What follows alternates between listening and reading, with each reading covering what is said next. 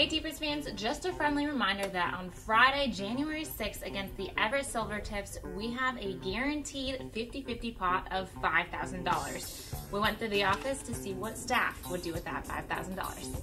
Um, let's see, I would buy fireworks for when the Thunderbirds win the Memorial Cup. If I won $5,000, I would, uh, let me think, I would buy all of my Cougar friends something purple. I would probably then take my wife to the national championship game.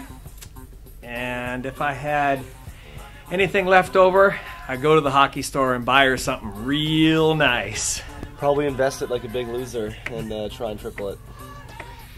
I'd probably buy a trip to Hawaii. If I had $5,000, I'd probably buy a new car and then probably season tickets or some group holiday flex packages. Those are, those are good options.